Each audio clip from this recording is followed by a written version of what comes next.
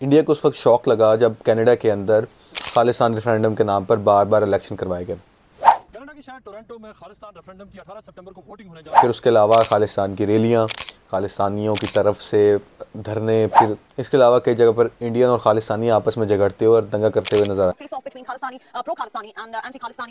Uh, Swami Narayan temple को भी डिफेस्ट किया गया और उसके ऊपर खालिस्तानी नारे और खालिस्तानी स्लोगन जो हैं वो पेंट किए गए इसके अलावा मुसलसल रैलियाँ इंटरनेट के ऊपर स्पोर्ट और काफ़ी जगह पर खालिस्तान की स्पोर्ट कनाडा के अंदर आपको नज़र आती है Canada, remember, was a hotbed of Khalistani separatism in the 1980s. आखिर ऐसा क्या है कि खालिस्तान की मूवमेंट जो कि पंजाब के अंदर दम तोड़ चुकी है वो अभी तक कनाडा के अंदर मौजूद है वीडियो में हम ये डिस्कस करेंगे कि कनाडा के अंदर खालिस्तान की प्रेजेंस कितनी है इसके अलावा कौन कौन वहाँ पे ऑपरेट कर रहा है? इसके अलावा ये डिस्कस करेंगे कि खालिस्तान को रोकने के लिए इंडिया अभी तक कैनेडा को कन्विंस क्यों नहीं कर पाया? खालिस्तान का लफ्ज़ निकला है खालसा से, और खालसा से मुराद होता है साफ़, शफाफ या शुद्ध हिंदी के अगर हम इसको देखते हैं। और ये मूवमेंट 1980s के अंदर शुरू की गई थी, जब इस मूवमेंट के अंदर पंजाब इंडियन पंजाब और पाकिस्तानी पंजाब, हरियाणा और हिमाचल प्रदेश के इलाकों को मिलाकर एक अलग पंजाबी रियासत कायम की जाए। इस रियासत को बनाने के लिए सबसे ज़्यादा सपोर्ट जो है सरदार जर्नेल सिंह भिंडरा वाला की तरफ़ से नज़र आई थी। लेकिन 1980s के अंदर होने वाले ब्लू स्टार ऑपरेशन के बाद ये तहरीक काफ़ी हद तक दबा दी गई थी। लेकिन इसके बावजूद जब इंडिया के अंदर ये तहरीक दम तोड़ गई तो ये तहरीक कनाडा के अंदर शिफ्ट हुई और कनाडा के अंदर लम्हे बलम्हा या आहिस्ता आहिस्ता दड़ें पकड़ती गई और स्ट्रॉन्ग और 2020 तक ये इतनी स्ट्रॉन्ग होगी कि तीस हज़ार लोग 6 नवंबर को बाहर निकलते हैं और खालिस्तान के हक़ में वोट देते हैं। इसके अलावा बहुत सारी जगह पर इंडियंस के ख़िलाफ़ नारेबाजी नज़र आती है और इंडियन झंडे जो हैं वो डिफेस किए जाते हैं। फिर एक जगह पर मंदिर भी डिफेस किया जाता है और इसके अलावा ट्रकर्स की रैली और इस तरह की काफ़ी मनाजर आपको कनाडा के अंदर देखने को मिलेंगे। इन तमाम चीज़ों के पीछे जो सबसे बड़ी ऑर्गेनाइजेशन है वो सिख फॉर जस्टिस मूवमेंट है। वन Pant Singh Pannun Sikh for Justice movement के प्रेजिडेंट हैं और वो उसी को ऑपरेट करते हैं। उनके मुताबिक इस मूवमेंट की तादाद लाखों के अंदर है और इसके बाद जो रेफरेंडम हो रहे हैं वो सिर्फ़ कनाडा में नहीं, बल्कि यूके ब्रसल्स यूएसए कनाडा और बाकी वेस्टर्न कंट्रीज़ के अंदर भी देखने को नज़र आएँगे। इस ऑर्गेनाइजेशन को 2007 में बनाया गया था, लेकिन इंडिया के अंदर इसे 2012 के अंदर बैन कर दिया गया था और अभी तक ये बैन ही है। उसके अलावा इंडिया की तरफ़ से मुसलसल प्रेशर रहता है कि कनाडा इस ऑर्गेनाइजेशन को बैन करें। लेकिन जब भी कनाडा के ऊपर ये बात की जाती है तो कनाडा तीन चीज़ों को बेस बनाता है। पहले तो ये है कि ये पीसफुल हैं कि इनकी तरफ़ से कभी बॉम्बिंग शॉम्बिंग या इस तरह की कोई चीज़ नज़र नहीं आती है, जो कि कॉमन इंसर्जेंसी के अंदर नज़र आती है।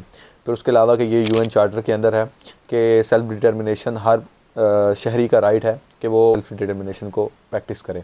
फिर उसके बाद जो तीसरी चीज़ है, वो लीगैलिटी है कि सिख फॉर जस्टिस मूवमेंट जो है वो लीगल वे के अंदर जो है वो ऑपरेट करती है और लीगली काम करती है। लेकिन रिसेंटली इंडिया की तरफ़ से इलीगल फंडिंग के ऊपर भी सवाल उठाए जा रहे हैं। कनाडा और इनके जितने एनओए इंडिया के अंदर ऑपरेट होते हैं, उनके मुताबिक इंडिया को यूनाइटेड रखने की ही बात होती है और वो इन तमाम चीज़ों को रिकोगनाइज़ नहीं करते हैं।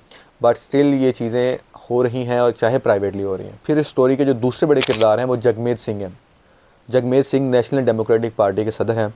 नेशनल डेमोक्रेटिक पार्टी ने पिछले इलेक्शन के अंदर 25 सीटें हासिल की थी और जस्टिन ट्रूडो को तकरीबन 11 सीटें चाहिए थी अपनी हुकूमत बनाने के लिए।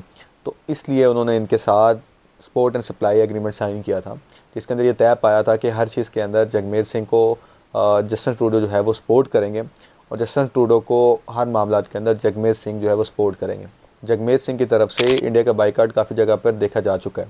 इसके अलावा वो कश्मीर कॉज को भी काफ़ी हद तक सपोर्ट करते हैं और काफ़ी जगह पर वो एहतजाज करते हुए नज़र आए हैं इंडिया के खिलाफ कनाडा के अंदर।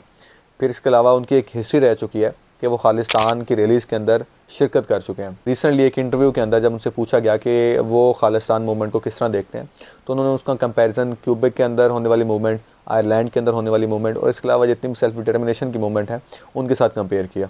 और उन्होंने इस बात को ज़ोर डाला कि ये यूएन के चार्टर की तरफ़ से एक बेसिक राइट है कि हर शख्स अपनी सेल्फ डिटर्मिनेशन को ले सकता है, अपनी सेल्फ डिटर्मिनेशन को डिसाइड कर सकता है।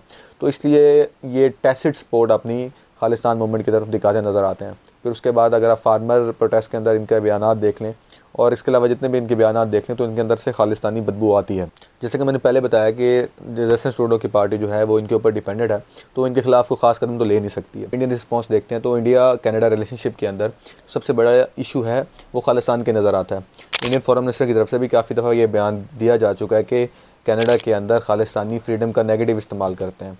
और इसके अलावा इसके अंदर से बायोट्री की बदबू भी आती है। क्योंकि एक तरफ़ तो कनाडा ये कहता नज़र आता है कि हम यूनाइटेड इंडिया को सपोर्ट करते हैं, और दूसरी तरफ़ जहाँ उसी इंडिया को तोड़ने की बात होती है, उन्हें सपोर्ट करता भी नज़र आता है। लेकिन इंडियन फॉरेन मिनिस्ट्री की तरफ़ से कई दफ़ा ये बयान दिए जा चुके हैं कि कनाडा की तरफ़ से सेटिस्फाइड जो हैं वो चीज़ें जो है नज़र आती हैं। अलावा अगर हम कैनेडियन व्यू को देखते हैं तो कनाडा भी काफ़ी जगह पर सिक्योरिटी इशूज़ को सीरियस नज़र लेता नज़र आता है। क्योंकि ये काफ़ी इंसिडेंट जो हैं, ये नॉन वायलेंट होते हैं, इसलिए इस इंसिडेंट को ऊपर जो है, वो क्रैक डाउन करना काफ़ी मुश्किल हो जाता है। अभी रिसेंट भी कैनेडियन एम्बेसडी की तरफ़ से ये बयान दिया जा चुका था कि इंडियन सिक्योरिटी इंटेलिजेंस और कैनेडियन सिक्योरिटी इंटेलिजेंस वायलेंस के अगेंस्ट काफ़ी हद तक मिलकर बात कर रही हैं और दोनों का नज़रिया वायलेंस को लेकर सेम है। लेकिन इन तमाम चीज़ों के बावजूद ये बात काफ़ी अलार्मिंग है कि कनाडा के अंदर खालिस्तान की मूवमेंट दोबारा जन्म ले रही है।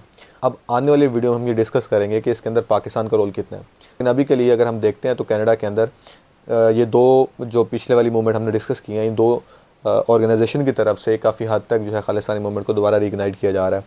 इसकी वजह से हमको दोबारा से पंजाब के अंदर भी धरने और हल्की फुल्की जो है उसकी चंगारियाँ नज़र आ रही हैं। पर कैनेडा की अपनी भी स्ट्रक्चरल रिस्ट्रेंड है, जिसकी वजह से वो खालिस्तानी मूवमेंट को कम्प्लीटली तौर पर तबाह करने में नाकाम रही है। इसके अलावा काफ़ी लिबरल इस बात को बुरा नहीं समझते हैं कि कुछ इंडियन जो हैं, वो अपनी सेल्फ डिटर्मिनेशन की जंग लड़ रहे हैं और उसको डेमोक्रेटिक वे के वे के अंदर जो है वो कन्वे करने की कोशिश कर रहे हैं।